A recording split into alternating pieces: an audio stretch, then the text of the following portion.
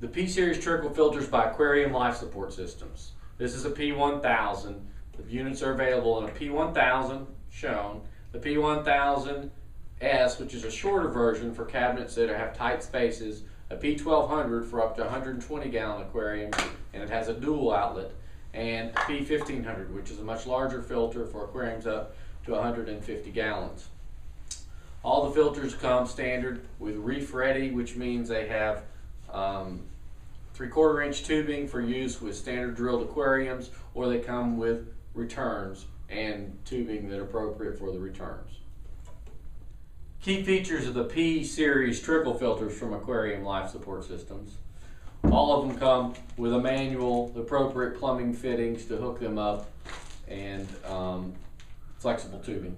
We use Vincon flexible tubing, which is uh, medical grade tubing. It'll stay flexible longer and it is more pliable than less expensive PVC flexible tubing.